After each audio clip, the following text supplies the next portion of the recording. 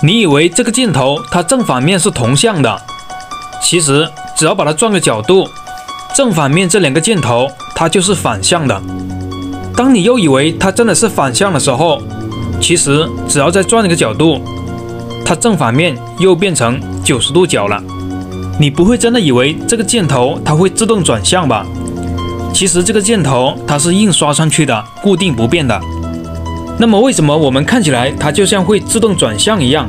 其实是你的思维欺骗了你。只要你从侧边看一下它们的过程，就可以明白这两个箭头为什么会自动转向了。可以同时留意一下正反面这两个箭头，仔细看，当背面的转过来的时候，它还是向左上角，看到吗？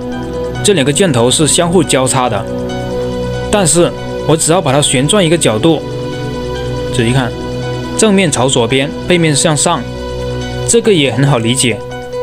然后我们再把它转一个角度，只是留意一下背面，把背面的箭头翻转一百八十度的时候，它就会朝左上角。然后从正面看起来，这两个箭头就成了反方向。看到这里，你能理解了吗？